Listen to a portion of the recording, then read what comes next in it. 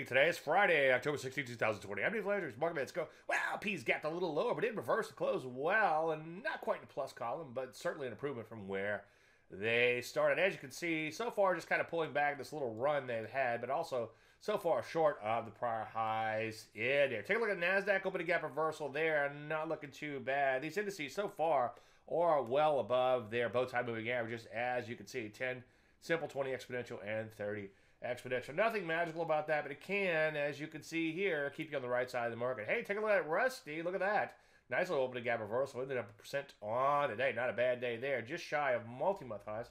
Not quite all-time highs, but getting and getting closer and closer to that level. All in great in the world, though. Some areas like biotech and drugs got whacked in here. Not the end of the world, but obviously you like to see them turn back up. So what do we do? Well, now that we have a pullback, start keeping an eye out for some new setups. But of course, as usual, wait for entries. Any questions? Dave. I'm Dave Landry, and you just heard about minute.